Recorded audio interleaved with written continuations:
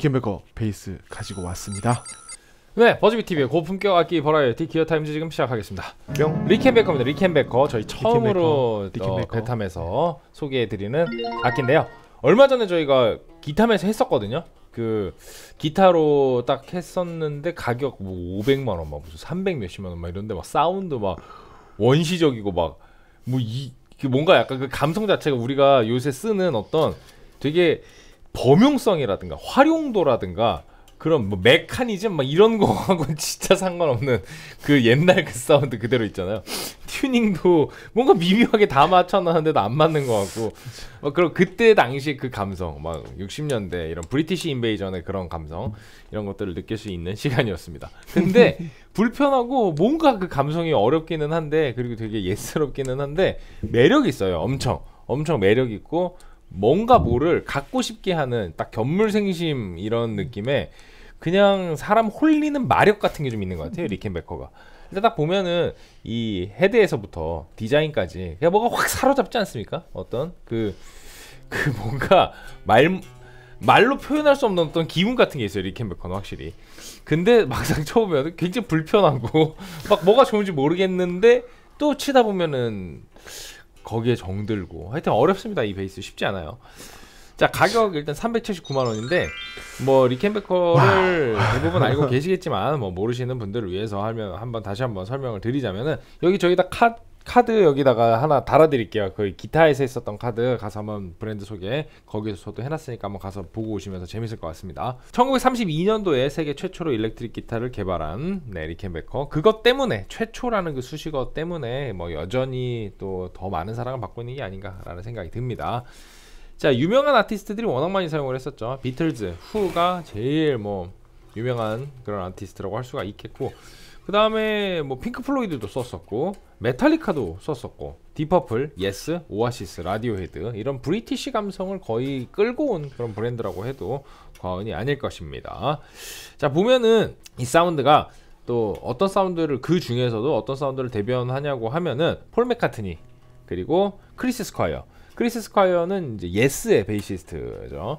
그래서 그런 느낌 예전에 그 브리팝 느낌에서부터 조금 그 60년대 감성에서부터 한 90년대, 2000년대까지의 그런 Britpop까지 이렇게 명맥을 이어오는 그런 장르에 거의 뭐 대들보처럼 녹아 있는 그런 브랜드라고 보시면 되겠습니다. 보면 사실 우리가 그 Britpop을 어떤 빵빵한 사운드, 화려한 연주 스킬 이런 걸로 듣는 게 아니잖아요. 감성으로 감성이죠, 듣잖아요. 감성. Britpop의 그 어떤 영국 쪽. 딱그 쓸쓸하면서도 살짝 gloomy하면서도 음. 정말 그 여기 emotional 그런 팝이라고도 이제 불리는 어떤 뭔가 그막 이렇게 뭐라 그래야 될까? 딱 들었을 때 그냥 뭐 이렇게 연주력이라든가 어떤 화려한 외관으로 이거를 승부를 하는 그런 음악이 아니고. 그냥 안에서부터 이렇게 끌어내오는 그런 느낌인데 그러니까 이게 리켄베커의 베이스가 사실 장르적으로 엄청 테크니컬한 장르에 잘 어울리는 그런 베이스는 아니에요. 것 근데. 그런 장르에는 굉장히 오히려 이런 음. 독특한 사운드의 세계관이 큰 강점이 될 수가 있다. 음. 그렇게 말씀드릴 수 있을 것 같습니다. 자, 이거 베이스 모델 이거 한번 알아볼게요. 얘가 4 4003인데 4003 제트글로 네. 40 4003 네. 제트글로 모델인데 자, round wound string을 탑재한 네, 4001S가 등장을 했고요. 그 다음에 어, 4001 이후에 4003이 탄생되면서 그 특유의 톤 캐릭터를 그대로 계승을 했던 그런 모델입니다. 자 여기에 좀 특징적인 스펙은 일단 넥스루 넥스루로 통일감 있는 디자인을 보여주고 그리고 뒤쪽에서 딱 봤을 때 그 그 neck이 이렇게 스루로 된 게 여기가 보입니다 여기 보이시죠 여기에 줄이 쭉 가 있는 게 네, 줄간 게 보이고요. 그 다음에 요게 그 앞 앞쪽에 있는 그 하얀색 그 binding이 굉장히 강렬하게 들어가 있어서 이쪽 binding. 네. 저기서 오는 그런 디자인적인 body요. 특징이 있고요. 그 다음에 스테레오 Rick-O-Sound라고 하는데 Rick-O-Sound 이게 뭐냐면은 어 스테레오로 뺐을 때 픽업이 하나씩 나갑니다. 그래서 neck 픽업은 다른 앰프로 보내고 브릿지 픽업 또 다른 앰프로 보내고 이런 식으로 사운드를 되게 넓게 연출할 수 있는 폭넓은 사운드 캐릭터를 가지고 있고요. 네, 요렇게가 좀 특징적인 스펙이라고 할 수가 있겠네요. 그리고 이쪽에 보면 이 주걱 같은 이, 네, 머리통 특징적이죠. 봐서. 밥, 밥. 파- 먹어. 어 그래 어. 이렇게 할 수 있을 것 같은 굉장히 큰 머리통. 부담스럽죠 약간? 자 어, 바로 스펙 살펴보겠습니다. 379만 원이고요. made in USA 전장은 114.5cm입니다 무게는 4.13kg로 생긴 거에 비해서 꽤 무거운 편이고요. 두께는 32 플러스 2mm 12fret 뒷둘레는 82mm입니다. body는 메이플의 high gloss 폴리 어, finish가 적용이 되어 있고요. neck은 메이플 neck-through 그리고 헤드머신은 쉘러의 디럭스 헤드머신이 2대2로 붙어 있습니다. 베이클라이트 너트가 사용이 되어 있고요. 너트 너비는 43mm입니다. 루즈우드 지판 그리고 역시 binding이 처리가 되어 있는데 이게 그 광이 정말 번쩍번쩍 납니다. 그 광이 굉장히 심하게 두껍게 되어 있어요. 어, 지판 곡률 반지름은 254mm, 스케일 길이는 844.55mm. 되게 특이하네요, 스케일 길이가. 보통 34인치가 음. 나오는 33.25인치예요. 약간 특이한 스케일 사이즈입니다. 20fret single coil 두 개 장착되어 있고요. two volume, two tone, 그리고 push-pull이 되네요. treble tone control 할 수가 있는 push-pull, 3way pickup selector, 그리고 어, 아웃풋 두 개. 자, 그리고 housing이 들어가 있어요. 네, housing 안쪽에 지금 픽업이 들어가 있는 거죠? 네. 자, 이렇게 스펙을 살펴봤습니다. 과연 어떤 소리가 날지 기대 반 걱정 반 들어볼게요. 이게 각각의 볼륨이고요. 네. 이게 각각의 톤이고요. 네, 여기 이제 써져 있는 대로 네. 여기 빈티지하고 이제 여기 스탠다드 음, 톤을 이렇게 왔다 갔다 할 수 있는 그렇군요. 네, 푸시하면 왔다 갔다 스탠다드. 하면서 해볼게요. 네, 여기 올리면 빈티지고 자 우선 다 올리고 네. 네, 스탠다드로 해보겠습니다. 픽업 두 개입니다.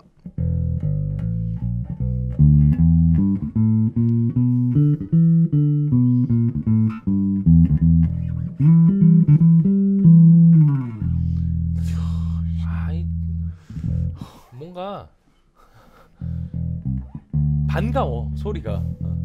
어, 존재감 확실히 좋은데요. 네. 뿌연듯하면서 존재감이 되게 좋아요. 그러니까 되게- 이게 이거, 우리가 이거 어, 그러지? 귀로 이렇게 싹 감겨 들어오는 음. 그런 식의 존재감은 아닌데 음. 확 꽂히는 느낌이랑 진짜 승재 씨 말처럼 뿌연데 약간 뿌연데 되게 자기 자리를 잘 어, 그렇죠. 잡고 있는 그런 어. 느낌. 묵직하면서 음. 약간 하여튼 그래요. 내 느낌은 네. 자 앞에 픽업입니다. 지금 픽업 두 개였고요. 앞에 픽업은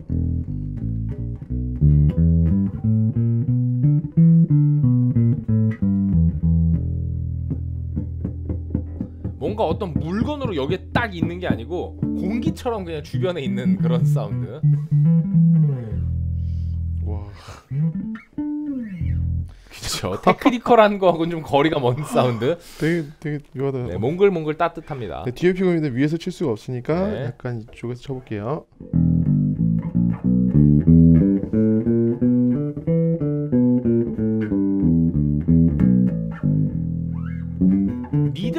상당히 강조가 되어 있는 사운드가 나요. 그러니까 이게 지금 빈티지 쪽으로 올리지도 않았는데 상당히 빈티지한 사운드잖아요 이미. 어, 그죠. 그럼 빈티지를 하면 어떻게 빈티지? 빈티지하게 하게 되면 어, 어, 이제 될까? 픽업 두 개, 픽업 두 개입니다. 뭐가 더 없어지는데? 더 흐려지는데? 네, 자 뒤에 픽업이요.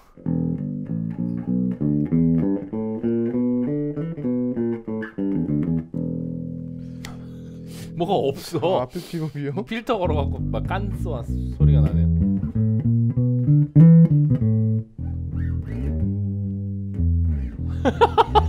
다 어디 갔어 애들 EQ 다 어디 갔어 자, 걔만 뽑히죠 걔는 안 뽑히고 네. 예. 아 근데 자, 확 빠지네요 느낌이 자 어. 아, 앞에 픽업에서 톤만 깎아볼게요. 저기 뭐랄까 옆집에서 연주하는 것 같은 그런 느낌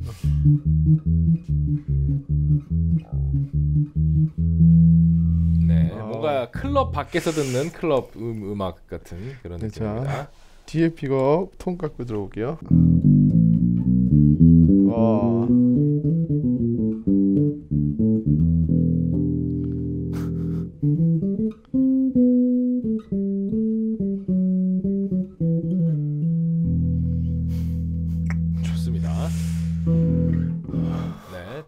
감성의 리켄베커 4003 어디다가 어떻게 써야 되지? 약간 이런 느낌 나는. 이거 어, 이거 되게 발라드에 되게 잘 어울릴 것 같은데 느린 음. 이따 발라드도 해볼게요.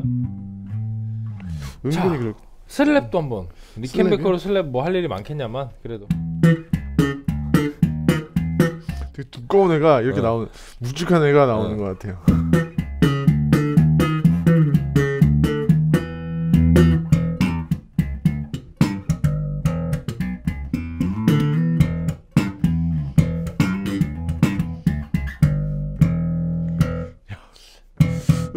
매력이 있네.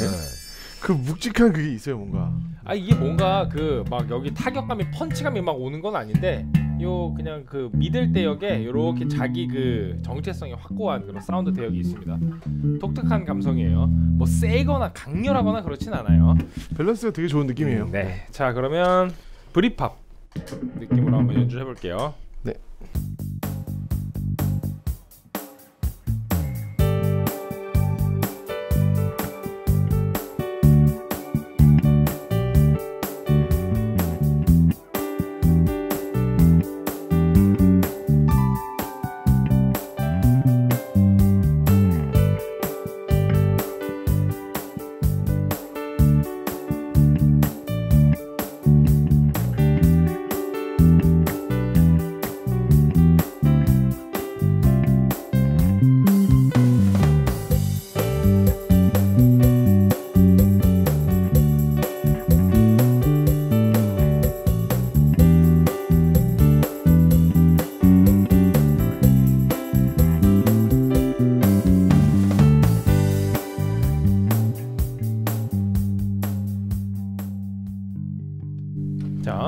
잔망스러운 거 해보겠습니다.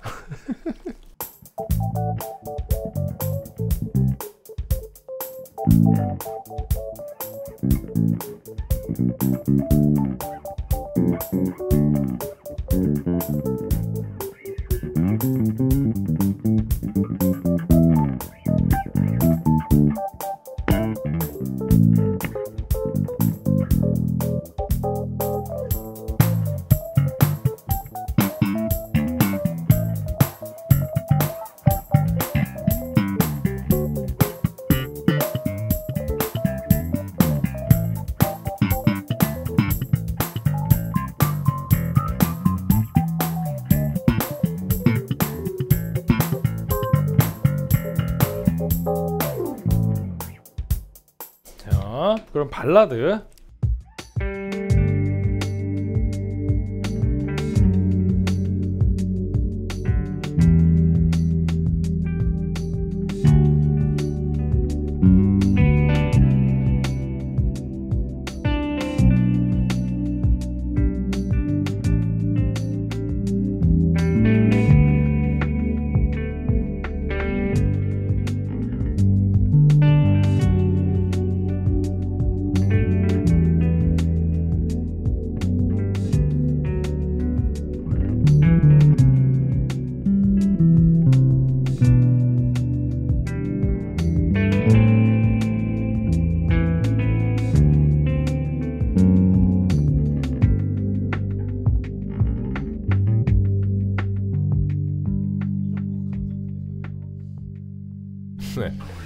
첫 번째 프로젝트는 톤을 스탠다드로 하고 두 번째는 빈티지로. 올려, 네, 올려봤습니다. 빈티지로 할 때는 약간 톤이 좀 죽는 그런 느낌이 있기 때문에 볼륨을 느낌. 살짝 조정을 해주시면 좋을 것 같아요. 드라이브를 살짝 걸어서 한번 들려드릴까요?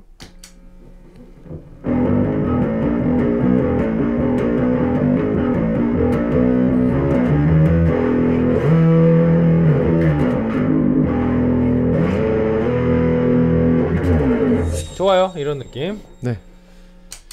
참 음, 몽글몽글하고 이게 감성을 자극하는 그런 사운드기는 하네요. 약간 빈티지하면서도 아닌 것 같기도 하고. 음.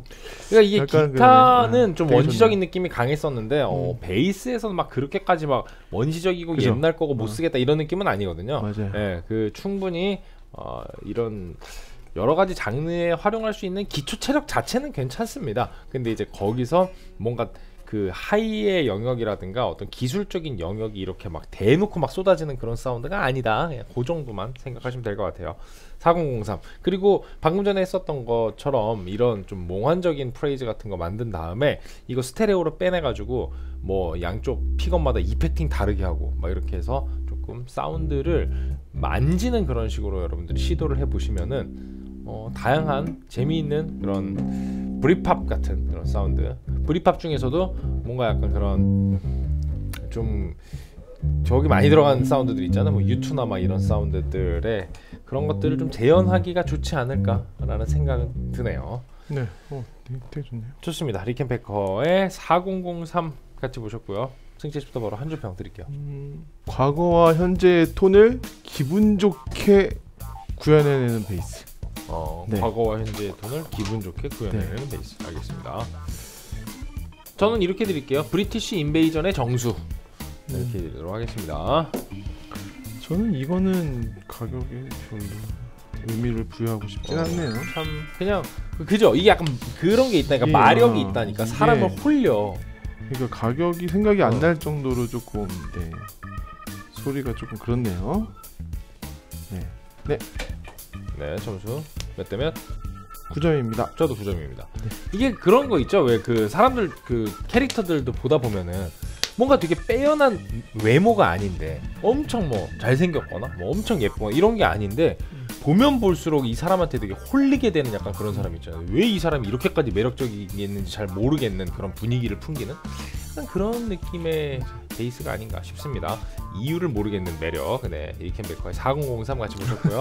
네, 다음 시간에 더 재미있는 베이스 찾아서 돌아오도록 하겠습니다. 좋아요. 유튜브 구독과 좋아요는 저에게 큰 힘이 됩니다. 기어 타임스. 베이스 타임스. 예.